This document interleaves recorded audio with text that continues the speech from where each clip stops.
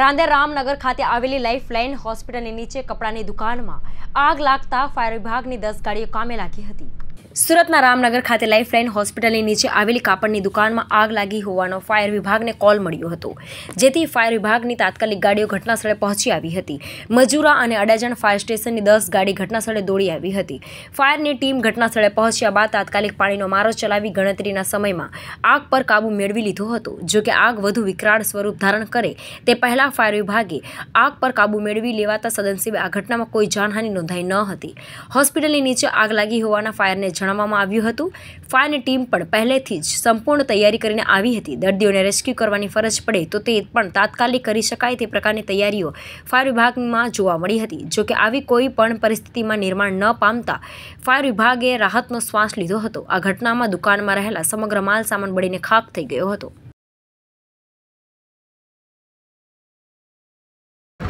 સાહેબ. આપનું નામ?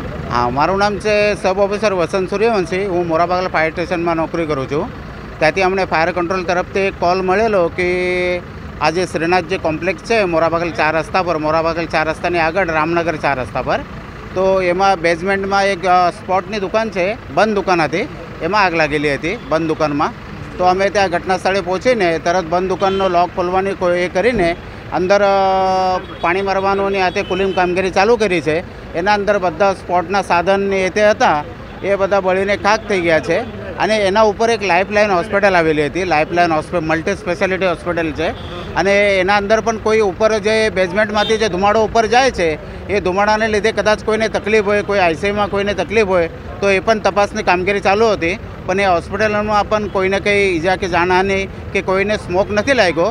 અને આ બેઝમેન્ટની જે કામગીરી હતી, એ અમે અમારા મોરાબાગલ ફાયર સ્ટેશનની ટીમ અને પાલનપુર ફાયર સ્ટેશનની ટીમ, ત્યાં ત્યાંના ફાયર ઓફિસર કીર્તિ મોડ સાહેબ, શૈલેષ પટેલ સાહેબ અને સબ ઓફિસર મોરાબાગલનો હું વસંત સૂર્યવંશી. અમે ત્રણ ટીમ મળીને તાત્કાલિક આગ પર કાબૂ લીધું છે, પણ દરવાજો તાત્કાલિક ખોલવામાં થોડું કાપડાનો સામાન હોવાથી ટોટલી બધું બળી ગયું છે, બધું કોઈને ઈજા કે જાનહાની નથી.